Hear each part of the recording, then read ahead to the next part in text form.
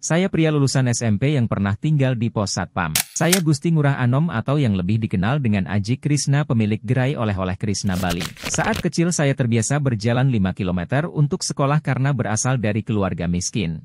Bahkan di kampung, saya adalah orang yang paling miskin karena nggak punya rumah. Selain itu, saya juga bersekolah cuma sampai SMP. Kemudian saya mutusin merantau keluar kota buat cari uang. Di sana saya bekerja jadi tukang cuci mobil di sebuah hotel. Karena saya nggak punya rumah, akhirnya saya menumpang tinggal di pos security. Saya pakai batu bata sebagai bantal saat tidur. Setelah dua tahun, saya berhenti jadi tukang cuci mobil karena masalah kesehatan. Lalu saya pergi menumpang di rumah paman saya yang seorang pengusaha konveksi. Di sana saya mulai belajar terkait dunia konveksi dan bisnis. Pada 2006, dengan berbekal pengalaman di usaha konveksi milik paman, saya mulai usaha konveksi sendiri. Sebelumnya saya dan istri survei lebih dulu ke pasar, buat lihat produk apa yang paling laku. Ternyata penjualan produk paling banyak saat itu adalah kaos. Setelah itu, kami mulai buka toko Krishna pertama yang menjual produk konveksi yang saya buat hingga berbagai cemilan dan kesenian khas Bali. Ternyata Krishna banyak disukai masyarakat, lalu saya berhasil bikin beberapa cabang setelahnya.